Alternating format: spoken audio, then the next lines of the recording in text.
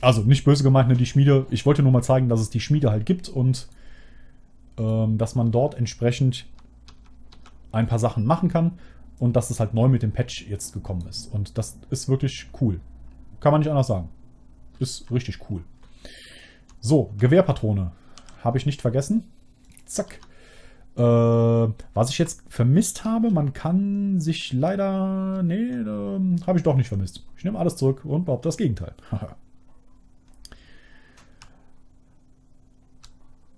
Oh, ähm... Ist derselbe Name wie hier. Wenn du nach Pausenklaus suchst auf YouTube, wirst du mich auf jeden Fall finden. Aber bestimmt ist einer der Anwesenden so nett und könnte eventuell meinen Kanal mal posten. Ich spare mir dann jetzt gerade die Insel mal, weil ich einfach erstmal die Laterne ausmachen möchte und sie dann wegstecke, was total blöd ist, weil man sie, wenn man sie wegsteckt, eh ausschaltet. Aber gut. Ähm, ja, genau, weil ich würde nämlich gerne noch eine Werkbank auftreiben. Da hat der Karl nicht ganz unrecht, weil da gibt es auch noch etwas zu berichten. Zwei Wölfe. Was soll das denn? Also wenn, wenn vielleicht einer kurz den, meinen Kanal-Link hier äh, posten könnte im, im Chat. Ach, nee, könnt ihr nicht. Entschuldigung. Könnt ihr ja gar nicht. Es sind ja leider Links verboten im Chat.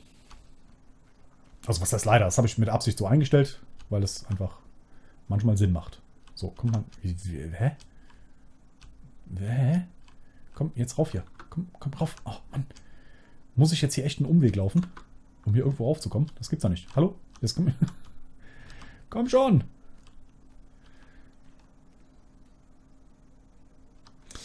Ja, genau. So, pass auf. Ich erlege das aber gerade mal kurz. Kommt sofort. Kommt sofort. Eine Sekunde, eine Sekunde, eine Sekunde. So. So. So. Das ist der etwas kürzere Link. Der andere funktioniert genauso, den der Karl gerade gepostet hat. Äh, den aber keiner sehen konnte, außer dem Karl. Also, der Karl hat ihn ja gepostet, der weiß, wie der Link aussieht. so. Oh, vielen Dank. Das, das freut mich auch total. Abonnenten sind sowieso immer super. Finde ich sehr, sehr cool. Okay. So, Gibt es hier, hier müsste es doch eigentlich eine Werkbank geben, oder? Soll ich hier mal irgendwo reingehen? Ne, pass auf. Ich, ich gucke erstmal hier draußen, ob es hier draußen irgendwo eine Werkbank gibt. Das ist ja auch nicht unbedingt so selten.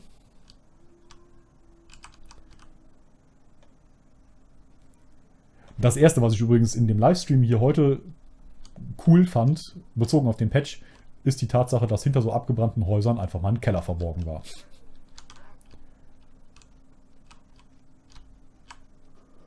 Okay, ich gehe hier doch mal gerade rein. äh, alles klar, ja. The Gamer ist am Handy. Gar kein Problem. Ja, das sieht ziemlich nach Werkbank aus, ne? Das sah aber jetzt gerade erstmal ziemlich nach Wolf aus. Wir haben schon wieder fast, fast kein, kein äh, Petroleum in der Lampe. Ach, Wollmütze, was will ich hier mit der Wollmütze? Pass auf, das erste, was ich aber jetzt hier mal mache, weil wir sind schon wieder relativ schwer. Ich lasse mal kurz die Kohle hier. Äh, und hier das Altholz. Und äh, komm, die Metallschrott lassen wir auch nochmal hier. So, ja, das ist, äh, das ist super hier alles. Das ist super alles. Was, äh, hier, oh, Kondensmilch. Her damit. Ich liebe Kondensmilch. Okay, das scheinen hier so die, die, die äh, Schlafsäle zu sein.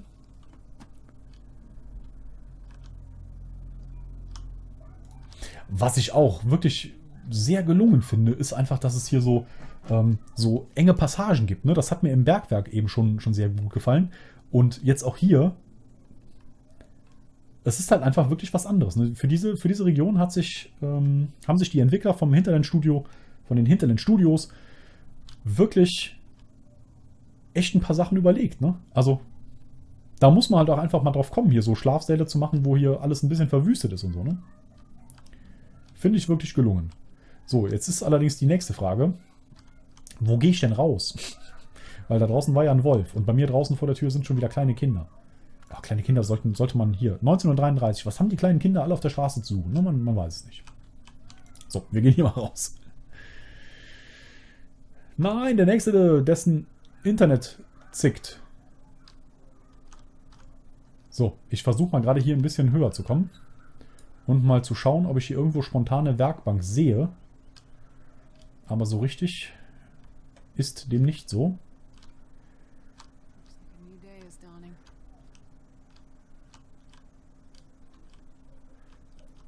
Okay, wir, wir wechseln einfach mal hier rüber in das andere Gebäude. Hier, hier, äh, ich würde, mich würde es schwer wundern, wenn es hier keine Werkbank Ach, Bogen. Ja, komm, Bogen. Eigentlich eine gute Idee. Ach, hier, guck mal, Gewehrpatrone. Äh, hallo, Gewehrpatrone? Super. So, ich äh, hätte aber eigentlich gerne eine Werkbank. Hier wird bestimmt eine Werkbank. Herr, Herr Wiener, was? Jetzt habe ich gerade die Laterne weggesteckt, ne? So, hier wird es doch mit Sicherheit irgendwo eine Werkbank geben. So, das ist ein Schreibtisch. Oh, Hallo. Metalltisch. Hm. Das ist fast eine Werkbank. Ne? Ich ignoriere jetzt auch mal erstmal alle Schränke. Ich würde nämlich wirklich gerne kurz gucken. Das gibt es echt nicht. Ne? Hier, hier ist auch keine Werkbank. Also zumindest nicht hier oben. Wir gehen mal runter. Ah, hier haben wir noch eine Werkbank. Hier haben wir noch eine Werkbank. So, ich mache die Laterne aus und dann schauen wir mal auf die Werkbank. Also, das sind alle Sachen, die konnten wir vorher schon. Schnur, Angelzeug, Kaninchenpelz, Fäustlinge, Rehlederstiefel, Rehlederhole, Wollpelzmantel, Survivalbogen, Fallschaft, einfacher Pfeil. Man kann auf der Werkbank nichts Neues machen. Und jetzt stelle ich mir die Frage,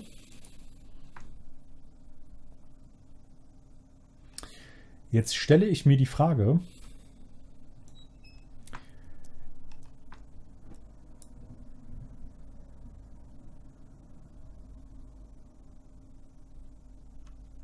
Ähm, jetzt stelle ich mir die Frage, woher man denn so eine Säge bekommt und kaum... So! Perfekt! Ach, wie viel Glück kann man haben. Ja, komm, den Hammer nehmen wir auch mit. Wir haben hier, ja, ich bin, ne? Ich bin hier ähm, der Dings. Wie heißt er noch? Hör mal, wer der hämmert. Ho, ho, ho, ho, ho.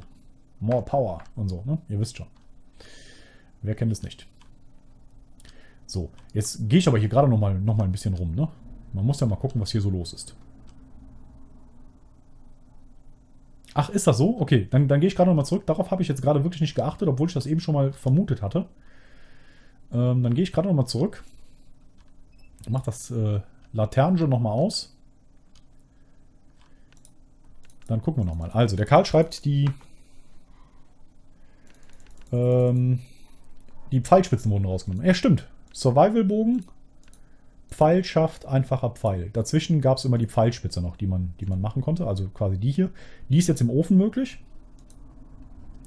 Und ähm, ja, wie gesagt, ne, das improvisierte Messer und das improvisierte Beil kann man beim Ofen machen. So, und jetzt würde ich aber gerne mal, so ich mache die Laterne wieder aus, ich würde gerne das Metallregal hier mal zersägen. Drei Stunden, achtmal Metallschrott, ja. Okay, damit ähm, ist, steht auf jeden Fall fest, der Nachschub an Metallschrott ist auf jeden Fall erstmal gesichert. Für, gerade für die Pfeilspitzen. Jetzt kommt das nächste Problem. Jetzt weiß ich nicht, wie es mit der Kohle aussieht. Wenn man so viel Kohle braucht für den Ofen, dann muss es einfach eine Möglichkeit geben, irgendwo viel Kohle zu bekommen. Wenn ich richtig gezählt habe, brauchte man acht Stücke Kohle um den Ofen auf die notwendige Temperatur zu bekommen, um da was schmieden zu können. Und das ist wirklich relativ viel. Wir haben jetzt, glaube ich, noch zehnmal Kohle, ne? Irgendwie so um den Dreh, meine ich, hätten wir gehabt.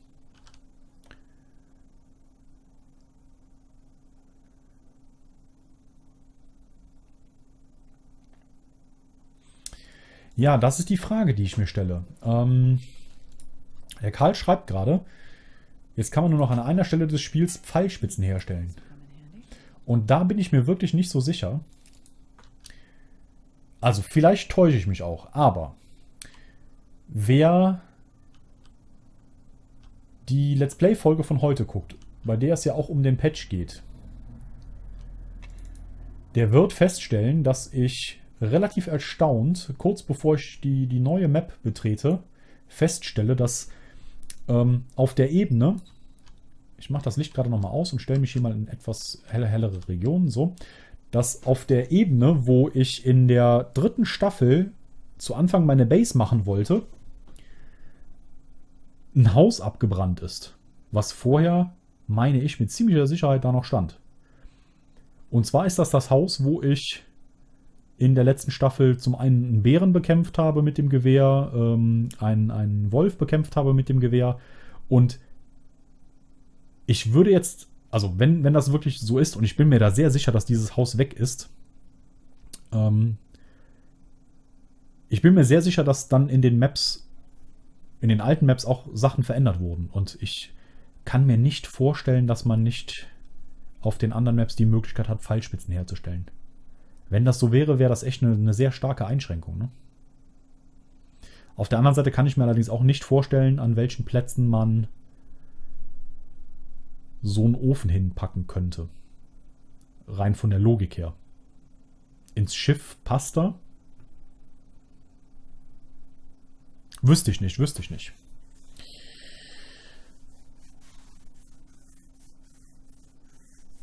Ja. Ähm, Doc John Jones, hat mich sehr gefreut, dass du wieder mit dabei warst. Ähm, ich wünsche viel Erfolg mit thelongdark.de. Hier nochmal an dieser Stelle bitte alle, ähm, die Lust haben, bei thelongdark.de ähm, vorbeischauen. Auf Facebook, auf Twitter, auf YouTube. Ähm, dort findet ihr immer zeitnah alle Neuigkeiten auf Deutsch zu The Long Dark und den Entwicklungen von den Hinterland Studios. Ja, vielen, vielen Dank fürs Zuschauen. Ähm, so, was schreibt der Karl? Ich bin mir nicht mehr sicher, was in den Patch Notes stand. Vielleicht kommen bald noch mehr Öfen. Vielleicht findet man jetzt auch mehr Spitzen. Ja, das, das ähm, ist die Frage. Also, wenn das wirklich so sein sollte mit dem Ofen, finde ich, ist es eine sehr starke Einschränkung, den Ofen auf die eine Map zu, zu packen. Ähm, weil das ist wirklich. Ach, hier, ja, genau, Wahl. Das ist wirklich was, was also, ja, ah, wobei. Also am Anfang, als ich mit The Long Dark angefangen habe, habe ich auch gedacht, boah, Gewehr und die Patronen, damit wirst du nie im Leben hinkommen und irgendwie überleben können. Und dann habe ich irgendwann festgestellt, okay, boah, so viele Patronen brauchst du eigentlich gar nicht. Und dasselbe denke ich aber jetzt, doch, da haben wir schon rein. Dasselbe denke ich aber jetzt mit Pfeil und Bogen. Jetzt muss man sich halt mal überlegen, wie viel, wie viel man mit Pfeil und Bogen eigentlich machen muss. Ne? Und wie viele Pfeile man eigentlich wirklich braucht, um um zu überleben. So richtig weiß ich das nicht, wie man das einschätzen soll. Hier ist eine Tür. Ja, gucken wir doch mal, wo die uns hinführt.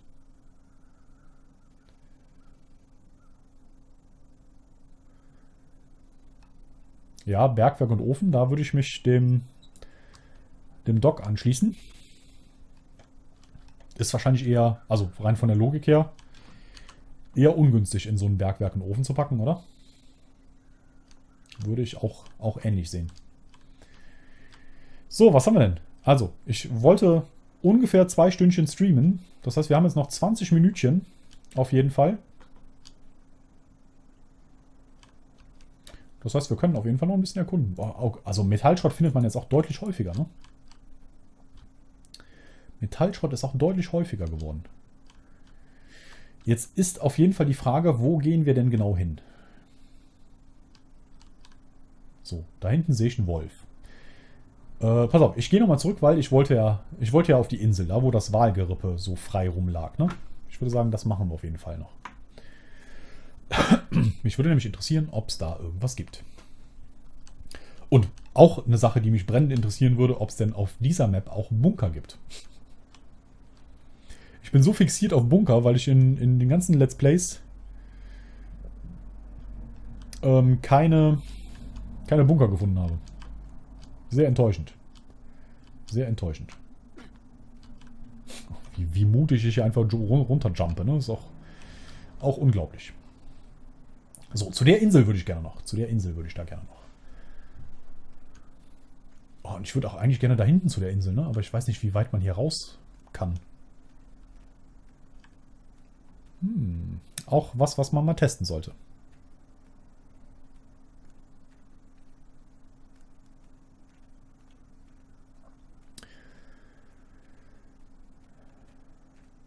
Ja, das äh, ist wirklich gut, dass du noch Pfeilspitzen hergestellt hast. Ich hatte die Wahl nicht. Ich habe so wenig Krähenfedern gefunden wie in keinen Folgen zuvor, wirklich. Hätte ich nicht gedacht. Aber es ist so. Ich habe so wenig Krähenfedern gefunden. Kann ich nichts dran ändern. Deswegen habe ich nur noch zwei Pfeile im Inventar. Zwei funktionierende.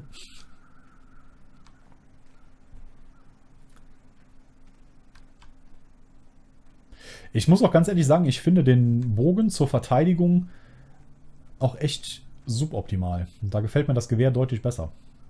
Das Problem ist ja jetzt eben auch, ne? ich habe einen Wolf angeschossen, der Pfeil ist jetzt weg, weil den Wolf, den finden wir jetzt wahrscheinlich nie wieder, ne? weil wir den halt auch nicht verfolgt haben. Kleine Insel, ja, ich finde, das trifft es auf jeden Fall ganz gut. Ah, komm, die Bartflächen kann ich nicht hier lassen, ne? Die muss ich mitnehmen. Ähm, deswegen ist der, der Bogen zur Verteidigung für mich relativ ungünstig. Zur Jagd im Notfall okay. Also klar, zur Verteidigung im Notfall natürlich auch okay. Ne? Dann ist halt ein Pfeil weg, aber dann ist der Pfeil halt auch weg. Und mit dem Gewehr kann ich zumindest nochmal auf Risiko hinterher schießen, um den Wolf, den Bären vielleicht nochmal zu treffen, wenn die im Fluchtmodus sind. So viel Interessantes gibt es auf der Insel irgendwie nicht, ne?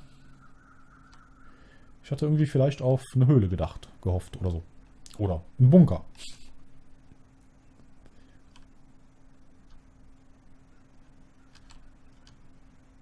Ach, hier, ach, guck mal. Ein Bartflächenparadies, ja. Ein Bartflächenparadies.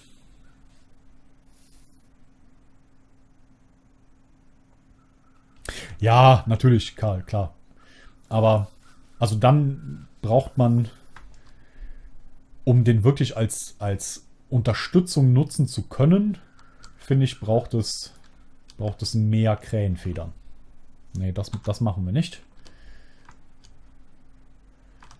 Also ich, ich vermisse halt ein bisschen die Möglichkeit, den, den Bogen effektiv nutzen zu können. Und das, das kann man momentan halt noch nicht. Das ist, finde ich, ein Problem. Ja, das mit der Haltbarkeit, das kann ich wirklich nicht beurteilen. Da kann ich aber, denke ich mal, auf dein Fachwissen vertrauen. Das kann ich nicht beurteilen. Aber die verlieren wirklich schnell Haltbarkeit, ne? Wie, äh, wie sieht denn das eigentlich aus? Hab ich... Ja, 55 Prozent, ne? Ähm, ich kann jetzt nicht mal nachvollziehen, wie oft ich mit diesem Pfeil schon geschossen habe. Ich vermute mal zwei oder drei Mal. So oft habe ich an den Bogen noch nicht benutzt. Ja, geht, geht schon schnell, ne? So, es fängt an zu stürmen und ich frage mich ernsthaft, wie weit ich hier noch gehen möchte. Oder ob ich mir nicht so langsam einen Unterschlupf suche.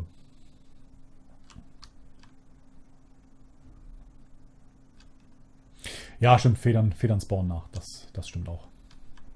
Ich hatte aber jetzt ähm, gerade in der heutigen Folge, die ich gemacht habe, mehrmals die Situation, dass an Leichen zwar Krähen ähm, rumgeflogen sind und das auch Leichen war, wo ich noch nie vorher war und da einfach keine Federn waren. Null. Das kann jetzt auch durchaus Zufall oder, oder Unglück gewesen sein. Glück war es auf jeden Fall nicht. Glück war es nicht, so viel steht fest. Okay, die, also die Insel war, war relativ enttäuschend, muss man sagen. Jetzt ist die Frage, wohin? Es ist leider relativ kalt und ich würde sagen, ich gehe jetzt noch mal bis zum Leuchtturm. Es ist eh nicht mehr so lange. Ähm, und dann machen wir da Feierabend. Denn kann man hier runterschießen? Oh ja, die Frage habe ich im letzten Livestream auch gestellt. Die einhellige Meinung war, weil ich habe es selber noch nicht probiert, deswegen kann ich es nicht beurteilen. Nein, kann man nicht. Ähm, zum einen ist es, glaube ich, mit den Waffen, die man hier hat, unmöglich, diese Krähen überhaupt zu treffen. Ich glaube, Ich meine, es wäre der Mad Max gewesen, ähm, der gesagt hat, er hätte das schon mal probiert, aber hat sie nicht getroffen. Ähm, ich glaube nicht, dass es geht. Ich habe es selber noch nicht probiert. Dazu ist die Munition aber auch hier, die ich gerade benutze, zu wichtig momentan für mich. Weil, das vielleicht noch zur Info, ich bin gerade auf Achieve-Jagd, Achievement-Jagd äh, für die Leute, die das nicht wissen. Nämlich 50 Tage überleben ohne, also die ersten 50 Tage überleben, ohne dass man ein Gewehr benutzt. Und wir haben zumindest schon fast 20 Tage voll. Deswegen äh, bin ich momentan nur mit zwei Pfeilen bewaffnet. Und rückblickend betrachtet, muss ich jetzt auch ganz ehrlich sagen, war es sehr blöd, den Ofen eben nicht zu benutzen, um Pfeilspitzen herzustellen. Aber gut, was nicht, ist, das ist nicht. Ne? Kann man jetzt auch nicht mehr ändern. Also. Weiß jemand denn von euch, wie ungefähr das Größenverhältnis dieser Map sein soll? Dazu habe ich nichts gefunden. Ich habe mal, zwar nur mal kurz gesucht, aber dazu habe ich keine Angaben gefunden. Also ich weiß nicht, welches Größenverhältnis das ist. Oh, so, jetzt seht ihr das Unterkühlt-Symbol unten links in der Ecke. Ähm, ich habe also kein Gefühl, wie viel wir von der Map jetzt schon gesehen, respektive erkundet haben. Ähm, deshalb an euch die Frage, habt ihr... Oh, wir haben schon wieder nicht mehr so viel Brennstoff, ne? Das ist ärgerlich. Hm, okay, einfach mal. Dann machen wir das ohne Lampe gerade mal kurz. Ich hoffe, das ist für den Livestream okay. Ich lagere hier gerade noch mal ein bisschen um. Den Stoff auch. Lackporling, Leder, Bartflechten. So, eine Brechstange weg. Das ist auf jeden Fall super, dass wir die Säge gefunden haben. Äh, einen Hammer schmeißen wir hier hin. Ach, jetzt haben wir wieder ein Werkzeug mehr, was ich ungern hier lasse, ne? weil mit dem Hammer einfach als Alternative zur Axt wir ein paar Möbel zerdeppern können. ich mache ja gerne irgendwas kaputt. Ach, und die Säge, das ist natürlich auch, ne? Da muss man vielleicht in Zukunft das so regeln, dass man einfach die ein oder andere Folge im Let's Play dazu nutzt, um auf Plünderungskurs zu gehen. Dass man sagt, okay, diese Folge nehme ich Hammer, Axt, Säge mit und besorge einfach Materialien. Wäre vielleicht eine Option. Ne? Ansonsten sieht es mit dem Gewicht halt echt schon wieder eng aus, weil dazu ist zu bedenken, wir haben bisher ja nur die Rehlederhose gemacht. Ne? Wenn wir den Wolfspelzmantel irgendwann noch dazu kriegen und ähm, die Rehlederstiefel und die Rehlederhandschuhe, äh, das sind dann einfach nochmal irgendwie drei, vier, fünf Kilo mehr, die wir mit uns rumschleppen müssen, rein als, als Standardklamotten. Ne? So, wir nehmen die Mütze, legen wir da rein und ziehen die andere Mütze mal an. Oh, wir sind wir sind echt am Ende, ne? Anziehen! So, und jetzt, Frau, iss, iss mal was. Du fällst ja fast vom Fleisch. Komm, hier. Wir haben einen Dosenöffner. Jetzt, jetzt können wir uns rantrauen. So, im Chat konnte ich bisher noch nichts lesen. Ich vermute einfach mal, ihr wisst auch nicht genau, ne, wie, wie das Größenverhältnis ist. Ob es eher so groß ist wie die anderen Maps oder ein bisschen kleiner. Also die anderen Maps sind ja auch unterschiedlich groß. Ne? Der ähm, Mystery Lake ist schon, schon sehr, sehr groß, die, die Karte. Mal eben die Wollmütze angucken, ob die nicht vielleicht doch noch ein bisschen besser ist als die, die wir anhaben. Oh, nee, leider nicht. Schade. Schade, schade, schade. Nesset. So, wie sieht es denn aus? Wir sind noch ein bisschen hungrig, aber uns wird wieder wärmer. Das ist ja auch schon mal gut. So, können wir denn noch irgendwas essen? Ach so, guck mal hier, die Salzcracker. Dann haben wir die auch weg.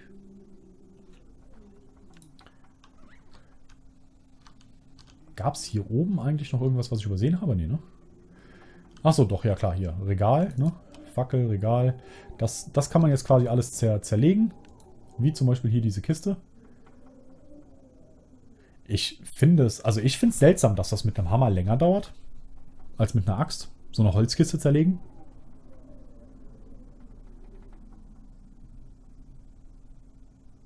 Mit einer Axt kann man doch verarbeitetes Holz, was, was zu einer Kiste verarbeitet wurde, nicht schneller zerlegen als mit einem Hammer. Das ist eine Sache, die finde ich unlogisch. Ich lasse mich aber gerne im Chat eines Besseren belehren. So, ich möchte einfach da mit dem Hammer mal draufschlagen, weil ich einfach Lust zu habe. so, sieht aus, als ob, man, als ob man das mit der Axt gemacht hätte. Wo ich natürlich jetzt nicht drauf geachtet habe, ist, ob kriegt man unterschiedlich viel Holz raus. Nee. Man verbraucht mit dem Hammer auch noch mehr Kalorien als mit der Axt. Also, das finde ich, finde ich nicht logisch. Wenn ich an meinen großen Hammer in der Garage denke und wie ich das Vordach damit abgerissen habe, was zumindest auf, auf, auf einem Holzgerüst ab, aufgebaut war. Aber gut, lassen wir das. Lassen wir das. Ja, ich würde sagen, das, das soll es eigentlich gewesen sein für den Stream. Kurz vor acht. Wir haben ein bisschen was von der neuen Map entdeckt. Ähm, ich konnte die ganzen Neuerungen zeigen, ne, dass das neue hat. Ähm, wir haben die neuen Werkzeuge schon gefunden. Den Hammer, die Säge, mit der wir jetzt Metall zersägen können.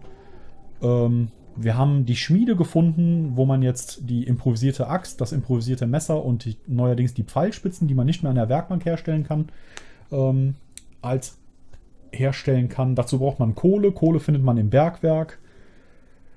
Äh, mir erschließt sich noch nicht so ganz, wie viel Kohle man wirklich noch findet. Das ist so eine Sache. Man braucht relativ viel Kohle, um den Ofen auf 150 Grad zu bringen. Ja, jetzt gucken wir mal, ne, wie, wie viele Bergwerke es noch gibt, wie viel Kohle da zu finden ist. Insgesamt ist der Patch mal wieder gelungen. Ne? Das kann man nicht anders sagen. Ja, The Gamer 08151. Sehr gerne, sehr gerne. Sepp ruhig mal durch. Ich kann die dritte Staffel von The Long Dark sehr empfehlen. Da spiele ich auf dem schwierigsten Schwierigkeitsgrad von The Long Dark und ähm, sehr spannend, sehr spannend. Auch da sind ein paar sehr lustige Szenen mit dabei. Ähm, ein paar sehr lustige Begegnungen auch. Ähm, ansonsten tob dich ruhig auf dem Kanal auf. Äh, ne? Gerne Kommentare da lassen zu allem Möglichen. Ja, ich freue mich auf jeden Fall, dass ein paar Leute eingeschaltet haben. Äh, war ja eine sehr kurzfristige Aktion.